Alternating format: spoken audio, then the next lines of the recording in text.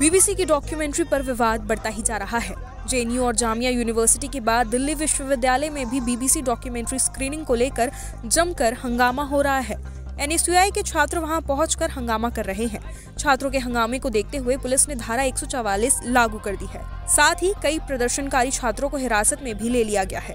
NSUI ने दिल्ली विश्वविद्यालय art faculty के बाहर चार बजे बीबीसी डॉक्यूमेंट्री की स्क्रीनिंग करने का ऐलान किया था, जिसको लेकर पुलिस ने आर्ट फैकल्टी के बाहर सुरक्षा व्यवस्था कड़ी कर दी थी।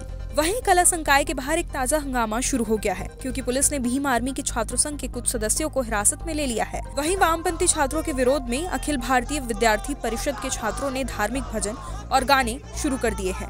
जिस जगह पर वामपंथी छात्र संगठन के छात्र बैठकर विवादित डॉक्यूमेंट्री को देख रहे हैं, उसी जगह एबीवीपी के छात्र धार्मिक भजन गा रहे हैं। वहीं अंबेडकर यूनिवर्सिटी में आज़ादी आज़ादी के नारे लगे। जानकारों की माने तो लेफ़्ट विंग के छात्र संगठन के छात्रों ने नारेबाजी भी की।